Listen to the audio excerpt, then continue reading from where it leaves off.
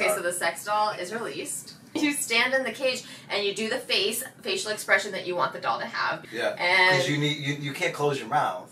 no, right, because you the dick's got It has to there. be. Thank you for explaining it.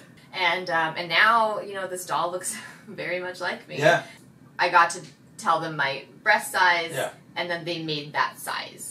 When It you is- put it next to you. It is my height. Exactly. It looks just like me. It does weigh 117 pounds. So, so Ah. the doll, the thing that is very strange is when you her mouth, her eyes bulge because there's only so much space in that skull. Right. Her there and her eyes go.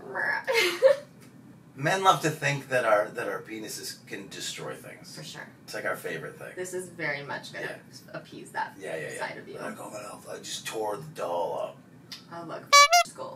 Yeah, her eyes popped out of her head. Her She nose. I broke her nose from inside of her head. Yeah, yeah, yeah, yeah. Yeah. Love that. Stacking you with a bunch of yous seems amazing, That does seem especially to your fans. Just like how many of yous can we get in there?